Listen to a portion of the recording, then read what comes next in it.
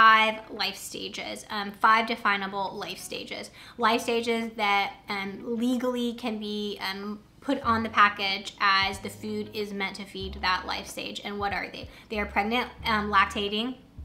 They are growth, so puppy.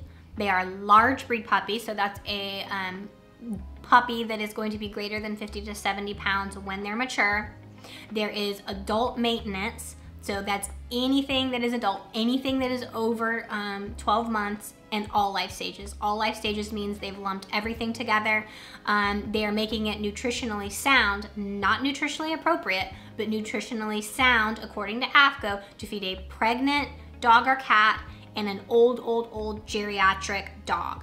Now, is that ideal? No. Is it legal? Yes. And so that is why we do not like all life stages um, on this channel. We want to tailor it. So as you can see, there is no life stage for the adult large breed.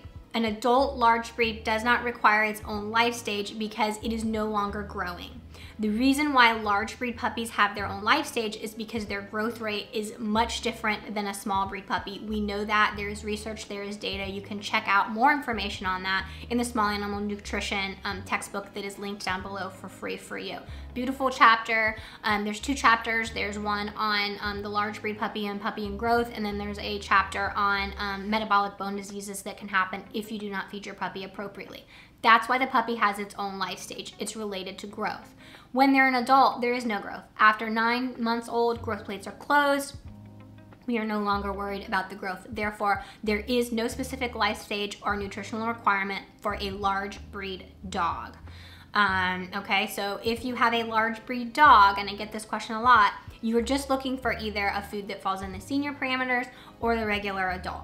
It is all a marketing thing, and again, it's just gonna confuse you, so do not um, necessarily worry about that. If you want to evaluate one of those foods because you like it, evaluate it against either the adult or if you have a senior against the senior.